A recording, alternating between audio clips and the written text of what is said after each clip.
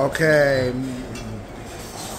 Bún mọc ở đây rồi tới phở gà, phở bò ở đây. Là nghe, khách sạn, buffet này, kiểu khách sạn kiểu pháp rồi ở Việt Nam nữa rồi, tới khu này, khu bánh mì nữa á ờ, này bánh mì là từ Pháp ở Việt Nam rồi cái bánh mì Việt Nam từ Pháp rồi đây cái bánh dạ cái omelette là kiểu Mỹ, Pháp có làm, chỗ làm trứng chiên á. Được Sorry. Sorry. Dạ, mấy bánh kẹp waffle ở đây. Bánh quế hả? Cái là bánh kẹp luôn hả? Dạ mỹ chưa bánh kẹp á bánh để cái bánh nướng bánh trắng nướng. Hành khách chỉ để bột lên rồi tới lật nó qua.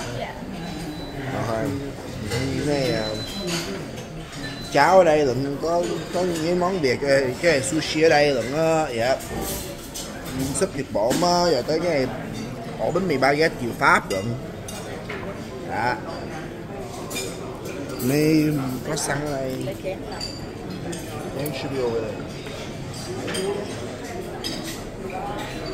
Đó, dạ. Đó, thấy cho má miệng đi cà phê sữa lắm ok.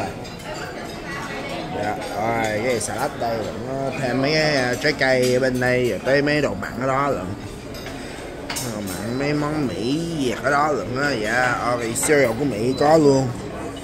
Ok. Ok. Đủ rồi nha. Ok, bye nha.